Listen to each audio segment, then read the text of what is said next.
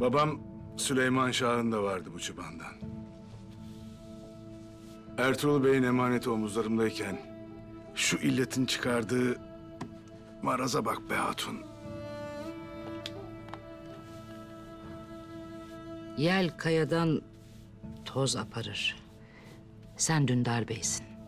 Evelallah her türlü badirenin üstesinden gelirsin.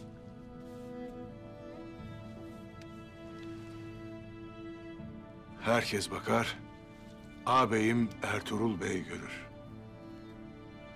25 yıl evvel onun ektiği tohumları şimdi mahsul diye toplarız. Bu anlaşma bölgeye refah ve sulh getirecek hatun.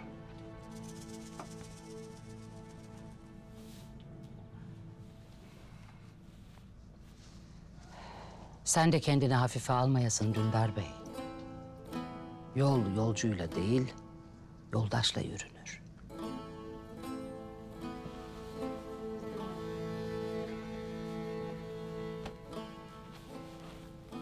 Sen de Gündoğdu ve Sungur Tekin gibi gerisin geri döneydin ne olacaktı? Omuz verdin ki Ertuğrul Bey nizam kurdu.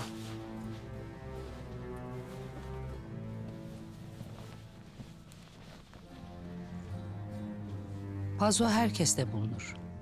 Lakin hem pazu hem hüner bir sende vardır.